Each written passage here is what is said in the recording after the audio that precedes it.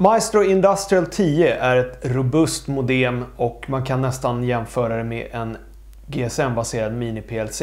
Häng med ska jag berätta mer.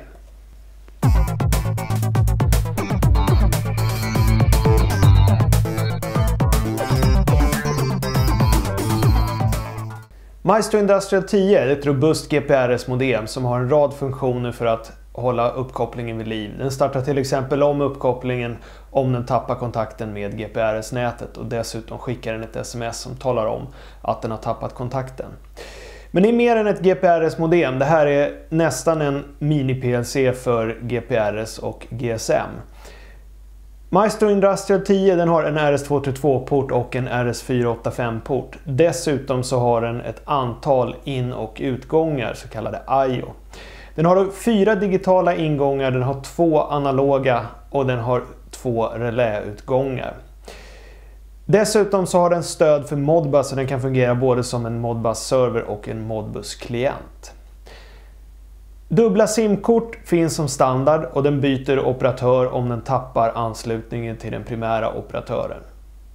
Dessutom så finns det en minneskortsplats som kan användas för loggning utav data.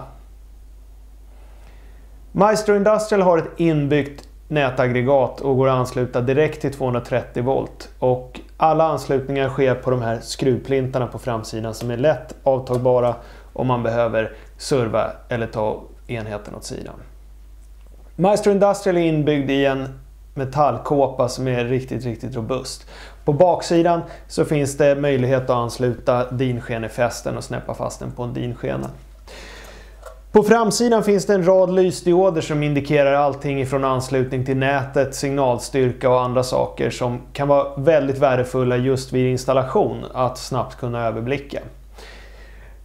Miljömässigt så är den då i en metallkåpa som klarar ganska tuffa tag och dessutom så klarar den ett temperaturspann på minus 20 till plus 60 grader.